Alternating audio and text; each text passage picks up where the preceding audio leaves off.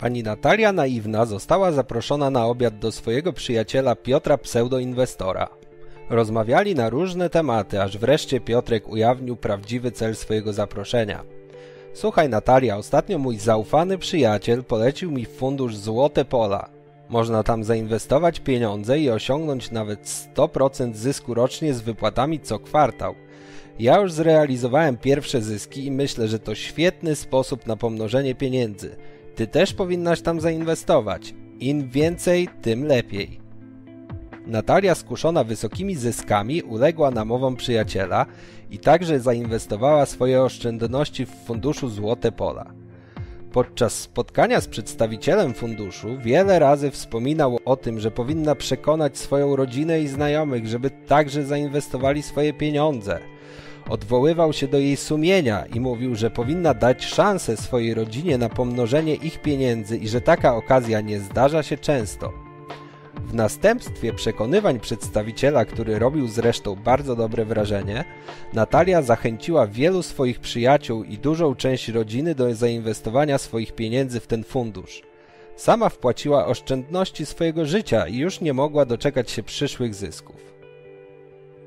Dwa miesiące później, zanim zdążyła zobaczyć jakikolwiek zysk, obejrzała w wiadomościach reportaż, że fundusz upadł i dowiedziała się, że straciła wszystkie wpłacone pieniądze. Właściciel funduszu zniknął. Okazało się, że był to schemat Ponziego, w który dała się wciągnąć. Co gorsza, pociągnęła za sobą także wielu znajomych i część rodziny – tym sposobem Natalia naiwna straciła oszczędności swojego życia oraz zaufanie swoich bliskich. Często wymiennie stosuje się określenia piramida finansowa i schemat Ponziego, jednak jest między nimi różnica. Schemat Ponziego polega na tym, że wszystkie pieniądze trafiają do twórcy przekrętu, a on pewien procent wypłaca osobom na niższych szczeblach. Piramida finansowa polega z kolei na tym, że każdy kolejny poziom piramidy czerpie bezpośrednie zyski z pozyskanych przez siebie niższych szczebli, a tylko pewien procent przekazuje wyżej. To, co je łączy, to fakt, że środki nie są zazwyczaj inwestowane w żadne aktywa. Żywotność tych przekrętów zależy od stałego dopływu nowych członków. Dopóki więcej środków jest pozyskiwanych niż wypłacanych, wszystko działa. Jednak od samego początku schemat Ponziego i piramida finansowa są skazane na upadek, bo nie ma szans, żeby pozyskiwać środki w nieskończoność. Jak pokazuje schemat, jeśli każda osoba miałaby pozyskać sześć kolejnych, na dziesiątym poziomie ilość uczestników w piramidzie przekraczałaby już znacznie ludność Polski, a na trzynastym przekraczałaby ludność świata prawie dwukrotnie. Z tego właśnie powodu żywotność piramid jest krótka – Piramidy finansowe oraz schematy Ponziego mogą przybierać różne formy. Mogą być to ogłoszenia przedstawiające perspektywę pracy w domu, gdzie musisz uiścić dużą opłatę startową, żeby rozpocząć swój własny biznes, a wtedy firma wysyła ci pakiet startowy, który okazuje się bezwartościowy.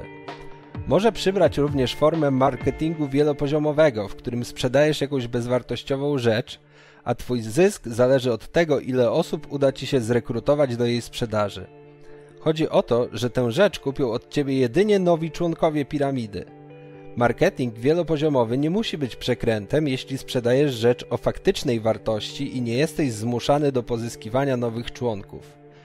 Piramida może również przybrać formę łańcuszka mailowego, gdzie prosi się o wpłacenie niewielkich kwot osobom na liście mailingowej, a następnie dopisanie się do listy i przesłanie wiadomości dalej do kilku osób. Należy unikać każdej działalności, w której Twój zysk zależy wyłącznie od wpłat nowych członków tej działalności oraz uważać na niesamowite okazje, w których będziesz bogaty w krótkim czasie, o ile tylko zapłacisz pewną kwotę na początku.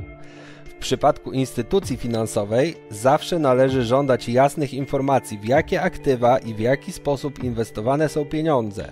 Nigdy nie należy ufać bajecznym zyskom bez ryzyka lub tajemnym metodom inwestowania. Model biznesowy firmy musi być jasny i transparentny.